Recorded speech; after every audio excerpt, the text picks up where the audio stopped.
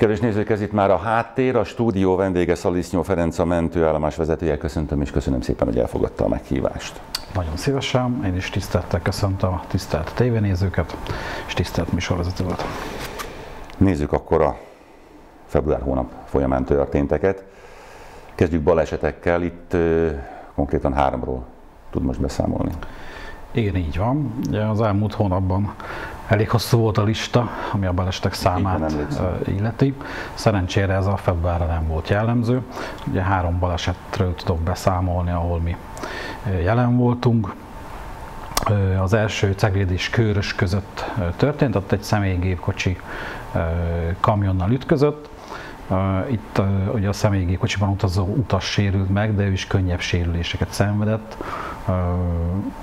önállóan el is tudta hagyni az autót, ugye ami azért érdekesség, mert azért a kamion és a személyautó találkozásánál szoktak lenni nehézségek, hogy nem nagyon tudnak kiszállni, de szerencsére itt azért el is tudta hagyni ezt a személyautót.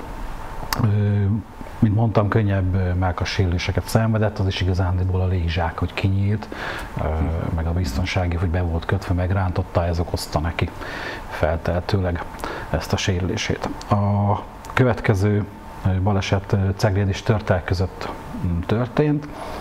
Ugye egy személyautó árokba hajtott, vagy árokba borult. Ugye ketten utaztak a személygépkocsiban, egyikőjük ki tudott szállni az autóból, a másikat ugye a katasztrófafélelem segítségével szabadították ki, de szerencsére itt is mindketten könnyebb sérüléseket szenvedtek. A harmadik pedig Abony és Tetétlen között történt, itt is árokba hajtott, vagy árokba borult a személygépkocsi. Itt is ki tudott szabadulni, vagy szállni a gépjármű vezetője. Ő is könnyebb sérüléseket szenvedett, ugye végtag, végtag sérülései voltak, de hát szerencsére nem volt se tragikus kimenetelű, se súlyosabb kimenetelű ezeknek a baleseteknek a vége. Más bejárta a sajtót minden szinten, magára hagyott újszülött. Igen, igen. Kb. két héttel ezelőtt történt ez az esemény. Ugye a kollégáim úgy mentek ki ez az eseményhez, hogy anyukának van nőgyógyásztó érzése. Őt hozták el lényegében a kórházban, és később a hozzátartozók találták meg az újszülöttet a kamrában, aki már ugye nem élt ő hozzá ment ki ugye a, ugye a következő egység, de hát olyan hosszú idő telt már el, hogy, hogy igazán már segíteni nem tudtak rajta.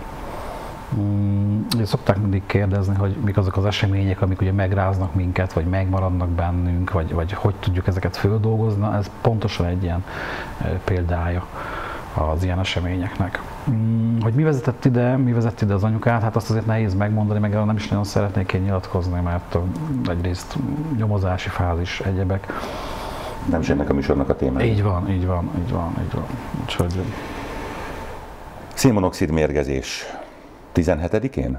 17-én. Így van, így van. 17-én, így, van, Cegléden. Így van, Cegléden történt ez az esemény. Uh, hozzátartozók vették észre lényegében, hogy a, a jól emlékszem, az édesanyja az egyik őjüknek, olyan furcsán viselkedik. Zavartan, beszél, mászkál a lakásban, ő hozzá hívtak segítséget, és mire kértek a kollégáim, már hozzátartozók is, is. rosszul lettek, úgyhogy így lett az egyből három sérült, de szerencsére nem lett tragikus kimenetelű, tehát mind a, mind a hárman kórházba kerültek, de ellátás után valószínűleg azért mehettek haza, nem volt olyan súlyosabb történet. Mindig szoktunk erről beszélni itt a téli időszakban a szénmonoxid mégzésről, hát sajnos megint, megint megjelent. Ugye Nyilván érdemes felszerelkezni mindenféle védőeszközökkel. Oda figyelni. Így van, így van, így van. Ugye a szénmonoxid érzékelőnek a beszerzése az talán célszerű. Egy hónappal ezelőtt arról számolt be, visszatekintve akkor még januárra, Igen. hogy csak volt az infarktusos beteg és eset. Most? Most nem volt kiemelkedő azt kell mondjam, hogy a mindig megjelenő, vagy azok a begyógyászati korképek, amikkel mindig találkozunk, azok most mondjuk azt, hogy a, a normál szinten voltak. Nem volt kiemelkedő se mondjuk a magas vérnyomásos betegek száma, se a sztrókosoké, se az infarktusoké.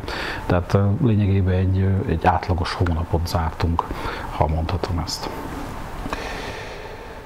háború árnyékában kevesebb szó, szó esik a járványról, de ez Igen.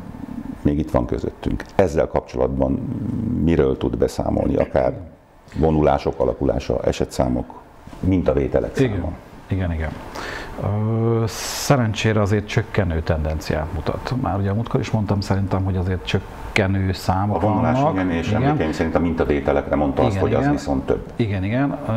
Most mind a kettőre azért azt tudom mondani, hogy csökken. A vonulás szinte már nincs is, nagyon-nagyon ritkán találkozunk, és a mintavételezés, mintavételezések száma pedig hát jóval alacsonyabb, mint mondjuk egy hónappal ezelőtt. Tehát mondhatjuk azt, hogy csökkenő tendencia. Lehet akkor ebből arra következtetni, amire szeretnénk következtetni? Igen, hát ha innen nézzük, akkor igen, lehet. Remélhetőleg hamarosan véget ér valamilyen formában azért ez a Szóval Ferenc, köszönöm szépen, hogy nálunk Nagyon szívesen.